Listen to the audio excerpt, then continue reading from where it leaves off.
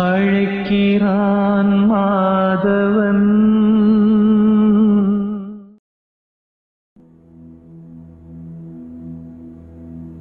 குருவே சரணம். நான் பெங்களூர்லேருந்து பிரியா பேசுகிறேன் பிரதர் டிசம்பரில் உங்ககிட்ட நான் அந்த திதி தெய்வதை வழிபாடு பற்றியும் திதி தெய்வதை பற்றியும் உங்ககிட்ட நான் கேட்டிருந்தேன். நீங்களும் எனக்கு கொடுத்தீங்க. அந்த டேலேருந்து நான் திதி தெய்வதையை வழிபாடு பண்ண ஸ்டார்ட் பண்ணிட்டேன். ஜஸ்ட்டு வீட்டில் விலைக்கேற்றி அந்த விளக்கை பார்த்து நான் அந்த மந்திரங்களை உச்சரிப்பேன். அந்த டே ஒன்லேருந்து இப்போ வரைக்கும் எனக்கு நிறைய மிராக்கல்ஸ் நடந்திருக்கு. இதில் ரெண்டு விஷயம் நான் சொல்கிறேன் நான் என் அந்த மந்திரம் சொல்லி ஒரே மாதத்தில் என்னோடய வேலையை ரெக்கக்னைஸ் பண்ணி எனக்கு ஒரு கேஷ் ரிவார்ட் கொடுத்தாங்க. அது மட்டும் இல்லாமல் இப்போது ரெண்டு நாள் முன்னாடி எனக்கு என்னோடய வேலை என்னோடய பர்ஃபார்மன்ஸ் ரொம்ப நல்லா இருக்குன்னு சொல்லி அதை ரெக்கக்னைஸ் பண்ணி எனக்கு ப்ரமோஷனும் பின்ன சேலரி ஹைக்கும் கொடுத்துருக்காங்க. ஸோ இது எல்லாத்துக்கும் ரீசன் வந்துட்டு வரிதா தைரியமாக தேங்க்யூ தேங்க்யூ பிரதர் இந்த சர்வீஸை நீங்கள் கண்டினியூ பண்ணுங்கள் நிறைய பேருக்கு நல்ல விஷயம் பண்ணிட்டுருக்கீங்க. ரொம்ப தேங்க்யூ பிரதர் எல்லோருக்கும் வணக்கம். மனிதர்களோட வாழ்க்கையில் ரொம்ப அடிப்படையாக இருக்கக்கூடிய ஒரு விஷயம் என்னென்னா திருமணம் அப்படின்னு சொல்லி சொல்லுவோம். எல்லாரோட வாழ்க்கையிலையும் கிட்டத்தட்ட ஒரு இருபது அல்லது இருபத்தி ரெண்டு வயது அல்லது இருபத்தி மூணு வயது இந்த மாதிரி நம்ம கடக்கும்போது நிச்சயமாக ஆணாக இருந்தாலும் சரி பெண்ணாக இருந்தாலும் சரி அவங்களுக்கான துணை என்பது நம்ம தேட ஆரம்பிச்சிடுறோம். ஆனால் அப்படி பார்த்து பார்த்து நம்ம கல்யாணம் பண்ணாலும் இன்றைக்கி வாழக்கூடிய வாழ்க்கை கிட்டத்தட்ட சில பேர்லாம் வந்து பார்த்தோன்னா ஒரு ரெண்டு வருஷம் தான் வாழ்ந்தேன் மூணு வருஷம் தான் வாழ்ந்தேன். பல வருஷம் லவ் பண்ணி தான் கல்யாணம் பண்ணோம். ஆனால் திருமண வாழ்க்கை எங்களுக்கு நீடிக்கல அப்படின்னு சொல்லி சொல்கிறத பார்க்குறோம். அப்போது எவ்வளோ பெரிய ரோல் இந்த திருமண வாழ்க்கை ப்ளே பண்ணுது அப்படின்னா கிட்டத்தட்ட நம்ம வாழக்கூடிய வாழ்க்கையில் ஒரு எண்பது வருடம் அப்படின்னா நம்ம ஒரு இருபது வருடத்தில் கல்யாணம் பண்ணுறோம் மீதி வாழக்கூடிய வாழ்க்கை அந்த பார்ட்னரோட தான். ஸோ சிக்ஸ்டி இயர்ஸ் கிட்ட நம்ம அந்த பார்ட்னரோட வாழ போகிறோம் அப்போ நம்ம சூஸ் பண்ணக்கூடிய விஷயம் எந்த அளவுக்கு இருக்கணும் அப்படின்றத நீங்கள் நல்லா கவனிச்சுங்க. அப்படி என்னதான் நம்ம பார்த்து பார்த்து சூஸ் பண்ணாலும் சில விஷயங்கள்ல நம்ம போய் இந்த மாதிரி லாக் ஆகிக்கிறோம் என்ன அப்படின்னா கரெக்டான ஒரு ஜோடியாக பார்த்து சேர்க்கணும். அதே மாதிரி கரெக்டான ஜாதகம் அமைப்பில் போய் பார்த்து சேர்க்கணும். அப்போ இந்த மாதிரி பார்த்து சேர்த்தா பிரச்சனைகள்ல இருந்து ஓரளவுக்கு நம்ம விடுபடலாமா அப்படின்னா நிச்சயமாக நம்ம பார்த்து சேர்த்தோம் அப்படின்னா சில பிரச்சனைகள்ல இருந்து நம்ம விடுபடலாம். டோட்டலாக உங்களோட கர்மாவே மாற்றி அமைக்க முடியுமா அப்படின்னு கேட்டால் நிச்சயமாக அதுக்கு ஒரு வாய்ப்புகள் என்பது கம்மி.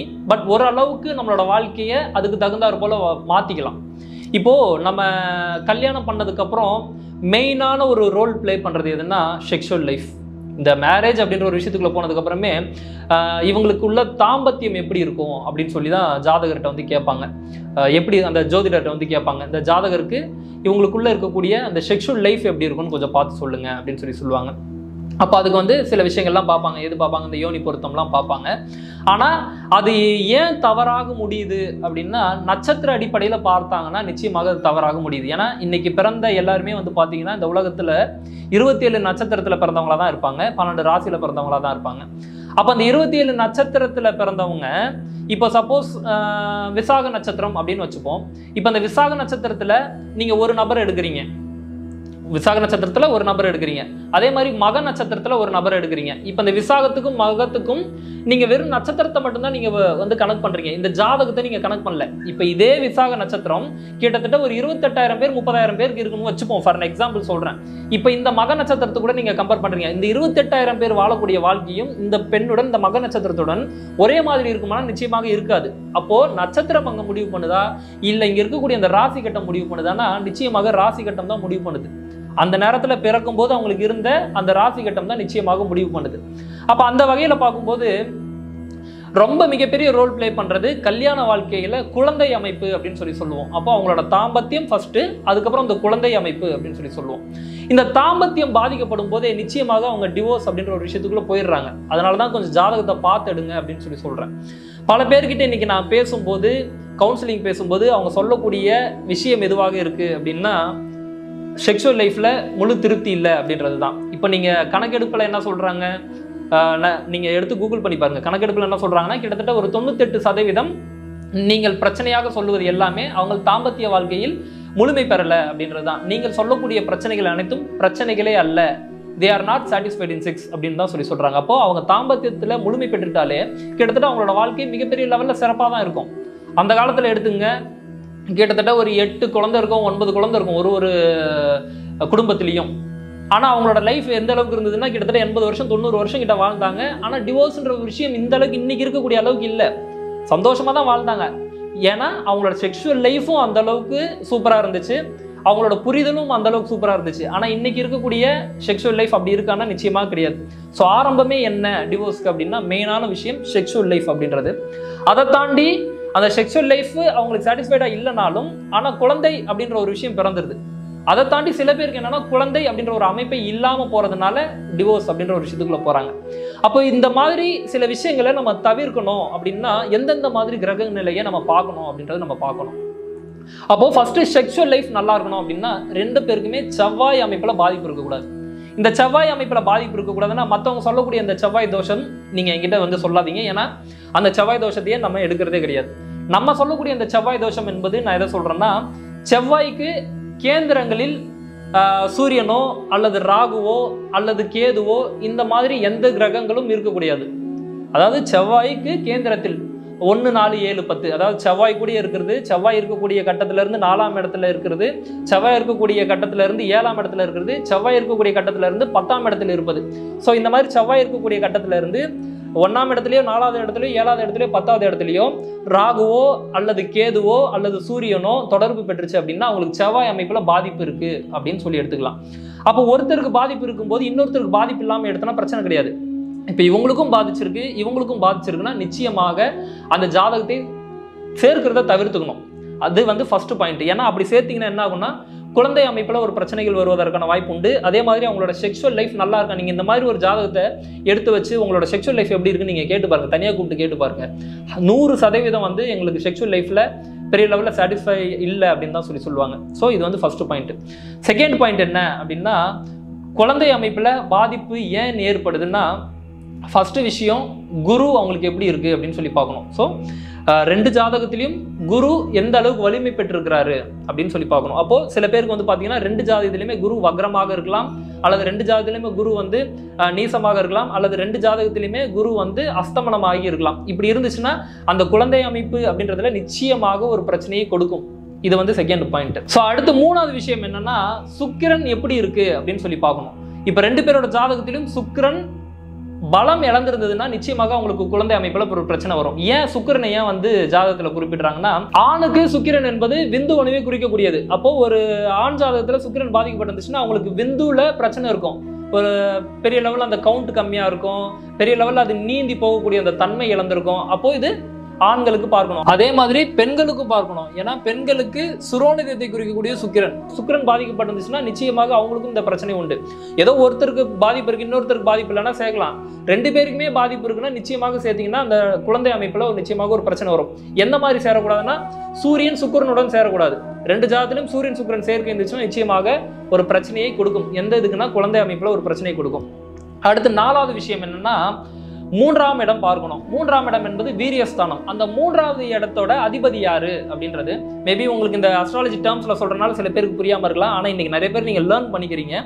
இந்த விஷயத்த ஒரு ஜோதிடர்கிட்ட போய் கூட நீங்க கேட்டு தெரிஞ்சுக்குங்க. எந்த நல்ல ஒரு ஜோதிடரா பார்த்து திருமண பொருத்தம் பார்க்கும்போது இந்த மாதிரி சில விஷயங்களெல்லாம் நீங்க எடுக்கும்போது ஓரளவுக்கு பிரச்சனைகள் தவிர்த்துக்கலாம். அப்ப அந்த மூன்றாம் இடம் அப்படின்னு சொல்லக்கூடியது ஆஹ், லக்னத்துல இருந்து நம்ம எண்றோம் இப்போ ஃபார் எக்ஸாம்பிள் சொல்றோம்னா இப்போ மேஷ லக்னமா இருக்கிறீங்கன்னும் போது மிதுன லக்னம் என்பது மூன்றாம் இடமா வரும். அந்த மிதுன லக்னத்தோட அதிபதி யாருன்னா புதன். அப்ப அந்த புதன் எந்த நட்சத்திரத்துல நிக்கிறாருன்னு பார்க்கணும். அந்த புதனுக்கு நட்சத்திரம் எந்த நட்சத்திரத்துல நிக்குது? அது வந்து போய் அலி நட்சத்திரத்துல நிக்கக்கூடாது. அலி நட்சத்திரம் எது? கேதுவோட நட்சத்திரங்கள் எல்லாமே அலி நட்சத்திரம் சனியோட நட்சத்திரம் எல்லாமே அலி நட்சத்திரம் அதே மாதிரி புதனோட நட்சத்திரம் எல்லாமே அலி நட்சத்திரம். இந்த மாதிரி அந்த புதன் எங்க இருந்தாலும் போய் நிற்க நிற்கக்கூடிய நட்சத்திரம் அந்த அள்ளி நட்சத்திரமாக இருக்கக்கூடாது. அதே மாதிரி மூன்றாம் இடத்தில் இருக்கக்கூடிய அந்த கிரகம் இப்போ சப்போஸ் மிதுன லக்னம் மிதுன ராசியில் மூன்றாம் இடம் சொல்லி சொன்னேன். இப்போ அதில் வந்து இப்போ சப்போஸ் ஏதோ ஒரு கிரகம் நிற்குதுன்னு வச்சுப்போம். இப்போ செவ்வாய் நிற்குதுன்னு வச்சுப்போம். அந்த செவ்வாய் இந்த அள்ளி நட்சத்திரத்தில் எதுவுமே நிற்கக்கூடாது இந்த மாதிரி மூன்றாம் இடம் மூன்றாம் இடத்தோட அதிபதி அந்த மூன்றாம் இடத்தில் நிற்கக்கூடிய கிரகம் அது எந்த நட்சத்திரத்தில் போய் நிற்குது இப்படின்ற மாதிரி சில விஷயங்கள் எல்லாம் நீங்கள் பார்த்து எடுக்கும்போது தான் இந்த குழந்தை அமைப்பில் நிச்சயமாக பிரச்சனை வராது. சரிங்க. இந்த மாதிரி சில விஷயங்களை நாங்கள் எடுத்துட்டோம். ஆனால் இந்த குழந்தை அமைப்பில் ஒரு பிரச்சனை இருந்துகிட்டே இருக்கே. இதை நாங்கள் எப்படி நிவர்த்தி பண்ணிக்கிறது? அப்படின்னு சொல்லி பல பேரோட கேள்வி இருக்கும். சில கோயில் வழிபாடுகள் மூலமாக நான் பார்த்த வரையில் சொல்கிறேன் சில கோயில் வழிபாடுகள் மூலமாக நிச்சயமாக பல மாற்றங்கள் நிறைய பேருக்கு நிகழ்ந்திருக்கு. எப்படின்னா இப்போ குரு பாதிக்கப்பட்டிருக்குன்னா குருவை ஆக்டிவேட் பண்ணுறதுக்கு அந்த அவர் நிற்கக்கூடிய நட்சத்திரம் எதுன்னு சொல்லி பார்க்கணும். அவர் நிற்கக்கூடிய நட்சத்திரத்துல இருந்து இரண்டாவது நட்சத்திரத்தை இயக்கணும். அப்போ அந்த இரண்டாவது நட்சத்திரத்தோட அதி தேவதை என்ன அப்படின்னு சொல்லி பார்த்து அந்த தெய்வத்தை நீங்கள் வழிபடும் போது அதற்கான சில பூஜைகளை நீங்கள் பண்ணும்போது பூஜைனா நீங்கள் போய் நெய் நெய் போட்டு விளக்கேற்றுறது இந்த மாதிரி பூஜைகள் தான் சொல்கிறேன் பத்தாயிரம் பதினஞ்சாயிரம் கொடுங்க பூஜை பண்ணுறேன் அப்படின்னு சொல்கிறேன் அந்த பூஜை கிடையாது. போய் அந்த கோயிலுக்கு சில விஷயங்களை நீங்கள் பண்ணி கொடுக்கறது. அதே மாதிரி சில இடங்களுக்கு போகும்போது என்ன மாதிரியான அன்னதானம் கொடுக்கணும்? எந்த இப்போ சப்போஸ் ஒரு இடத்துக்கு போகிறீங்க நான் ஒரு சில கோயில் சொல்கிறோம்னா அந்த கோயிலுக்கு போகும்போது கோதுமையால் செய்யப்பட்ட விஷயங்கள் தான் அன்னதானமாக கொடுக்கணும். ஏன்னா அதுக்கு அதெல்லாம் வந்து காம்பன்சேட் பண்ணக்கூடிய ஒரு விஷயமா இருக்கும். அதே மாதிரி கரணம் என்ன? அவங்க பிறந்த கரணம் என்னன்னு சொல்லி பார்க்கணும். இப்போ எக்ஸாம்பிள் சொல்லணும்னா பத்திரை கரணம் மணிசை கரணம் இந்த மாதிரி பவ கரணம் இந்த மாதிரிலாம் சில கரணங்கள் உண்டு. அவங்க பிறந்த ஜாதகப்படி அவங்க எந்த கரணத்தில் பிறந்திருக்காங்களோ அந்த கர்ணத்தோட தெய்வம் எதுன்னு சொல்லி பார்த்து அந்த தெய்வத்தோட வழிபாடும் பண்ணும்போது நிச்சயமாக மாற்றம் என்பது ஏற்படும். அதே மாதிரி இன்னொரு விஷயம் சொல்லணும்னா இந்த மாதிரி குழந்தை அமைப்பில் பிரச்சனை இருக்கக்கூடியவங்களுக்கு நாங்கள் சொல்லி சில விஷயங்கள் என்ன ஏற்பட்டிருக்கு மாற்றம் ஏற்பட்டிருக்குன்னா கரசை கரணத்தில் உங்களோட செக்ஷுவல் இன்டர்கோர்ஸ் நீங்கள் வச்சுங்க அப்படின்னு சொல்லி சொல்லியிருக்கோம். ஏன்னா கரசை அப்படின்றது வந்து யானையை குறிக்கக்கூடியது. யானை ஒரு முறை செக்ஷுவல் இன்டர்கோர்ஸில் ஈடுபட்டாலே நிச்சயமாக குழந்தை பெற்றுக்கும்னு சொல்லி சொல்லுவாங்க. அப்போ ஒரு முறை போதும் அதுக்கு செக்ஷுவல் இன்டர்கோர்ஸ் அப்போ அந்த மாதிரி காரணத்தில் இந்த கப்பல் வந்து செக்ஷுவல் இன்டர்கோர்ஸில் ஈடுபடும் போது குழந்தை நிற்பதற்கான ஒரு வாய்ப்பு என்பது உண்டு. இந்த ஒரு விஷயத்தையும் நீங்கள் வந்து ஒரு டிப்ஸாக எடுத்துக்கலாம். அதே மாதிரி திதி தேவதை வழிபாடும் சொல்லியிருக்கோம் ஆல்ரெடி திதி தேவதை வணங்கி பல விஷயங்கள் அதாவது விதியை வெல்லும் திதி தேவதைன்னு சொல்லி சொல்லியிருப்போம். ஸோ திதியை பிடித்தால் விதியை வெல்லலாம் அப்படின்ற ஒரு கான்செப்ட் தான். ஸோ அந்த திதி தேவதை என்ன அப்படின்னு சொல்லி நீங்கள் வழிபடுவோம் நிச்சயமாக மாற்றம் ஏற்படும். அதே மாதிரி வந்து பார்த்தீங்கன்னா இன்னொரு மூலிகையெல்லாம் அணியலாம். இப்போ தாய்க்கு பிரச்சனை இருக்குது தாய்மை அடைகிறதுல ஒரு பிரச்சனை இருக்குன்னா சந்திரன் மூலிகை அணியலாம். ஏன்னா சந்திரன் என்பது அந்த தாய்மையை குறிக்கக்கூடியது. அப்போ அவங்களுக்கு குழந்தையே இல்லாமல் இருக்குன்னா சந்திரன் மூலிகை அணிஞ்சாங்கன்னா ரிசல்ட் வர்றதுக்கான ஒரு வாய்ப்பு உண்டு. அதே மாதிரி ஆண் வந்து கவுண்ட் கம்மியாக இருக்குது அப்படின்னும் போது அவங்களுக்கு சுக்கிரன் அணிஞ்சாங்கன்னா அந்த சுக்கிரன் பலம் பெறுவதற்கு வாய்ப்பு உண்டு. இது எதுனா அந்த நாலடி ஆல்ரெடி நான் உங்களுக்கு சொன்னது தான் மூலிகை கிரகத்தோட மூலிகை. ஒரு ஒரு கிரகத்திற்கு கிரகத்திற்கும் ஒரு மூலிகை என்பது உண்டு. அதை நீங்கள் அணியும் போது நிச்சயமாக ஒரு பூஸ்டப் இருக்கும். அதே மாதிரி குருவால் குரு தான் வந்து பிரச்சனையாக இருக்குது அப்படின்னா அந்த குருவை ஆக்டிவேட் பண்ணுறதுக்கு ஒரு குரு மூலிகை போடலாம். அந்த மாதிரி அவங்க அவங்களோட ஜாதகப்படி அந்த விஷயம் மாறும். எல்லாருக்குமே வந்து ஒரே விஷயத்த வந்து சொல்ல முடியாது. உங்களுக்கு இதை போட்டுங்க. டிஃபால்ட்டாக ஒரு பதில் கிடையாது.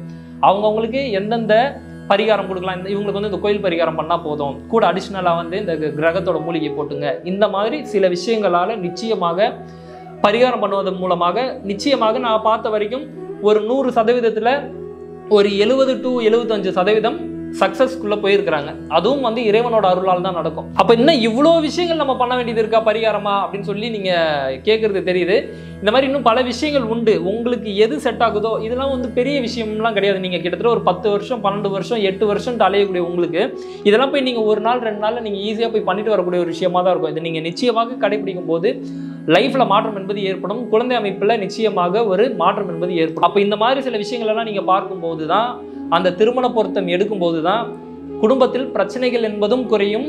இந்த மாதிரி சில விஷயங்களில் போய் நீங்கள் லாக் ஆகாமல் இருப்பீங்க. ஏன்னா குடும்பத்தில் சந்தோஷம் என்பது எப்போ இருக்கும்னா ஃபஸ்ட்டு அவங்களுக்கு அடிப்படை தேவை முடிஞ்சிடணும். இந்த அடிப்படை தேவை முடிஞ்சிட்டாலும் அடுத்து செக்ஷுவல் லைஃப் சம சந்தோஷமாக இருக்கணும். அந்த செக்ஷுவல் லைஃப் சந்தோஷமாக இருந்தாலும் அடுத்து குழந்தை பாக்கியம் இருக்கணும். இந்த மூணு விஷயமும் இல்லைன்னா நிச்சயமாக பிரச்சனைக்குள்ள இருப்பாங்க. சப்போஸ் இவங்களுக்கு வந்து எல்லாமே எனக்கு வந்து அடிப்படை தேவை எல்லாமே இருக்குது அதாவது சாப்பிடக்கூடிய உணவு எனக்கு கிடச்சிருது தங்குறதுக்கு இடம் கிடச்சிருது போட்டுக்கிறதுக்கு ட்ரெஸ்ஸு கிடச்சிருது இந்த அடிப்படை எல்லாமே கிடச்சிருது. ஆனால் எனக்கு செக்ஷுவல் லைஃப் சந்தோஷமா இல்லை அப்படின்னா நிச்சயமாக அங்கே ஒரு பிரச்சனை இருக்கும். சரி எனக்கு அடிப்படையும் முடிஞ்சிருச்சு அதே மாதிரி செக்ஷுவல் லைஃப் சந்தோஷமா இருக்கு. அண்ணா தான் இருந்தாலும் செக்ஷுவல் லைஃப் சந்தோஷமா இருந்தாலும் குழந்தை பாக்கியம் எனக்கு இல்லை அப்படின்னா இதுவும் ஒரு பிரச்சனையில தான் இருக்கும். அப்போ இந்த மூணு விஷயமும் நிச்சயமாக ஒரு மனிதனுக்கு தேவை. அப்போ இந்த மாதிரி சில ஜாதங்களை நீங்கள் எது வேணும் எது வேணாம்னு சொல்லி ஒரு நல்ல ஜோதிடரை அணுகி எந்த ஜாதகத்தை எடுக்கலாம் எந்த ஜாதகத்தை வந்து ரிஜெக்ட் பண்ணலாம்னு சொல்லி நீங்கள் கொடுத்து கரெக்டான ஒரு ஜாதகத்தை நீங்கள் சேர்க்கும்போது சில பிரச்சனைகளில் இருந்து மீள்வதற்கான ஒரு வாய்ப்புகள் என்பது உண்டு. ஸோ இந்த விஷயங்கள் எல்லாமே புரிஞ்சிருக்கும் அப்படின்னு சொல்லி நம்புறேன். அடுத்த வீடியோவில் சந்திப்போம். நன்றி.